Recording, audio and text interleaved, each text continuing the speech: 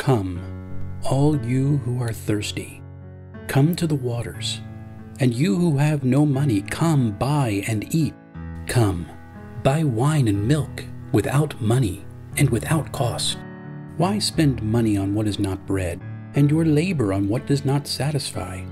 Listen, listen to me, and eat what is good, and you will delight in the richest of fare.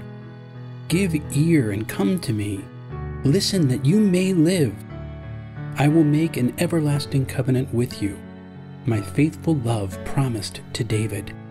See, I have made him a witness to the peoples, a ruler and commander of the peoples.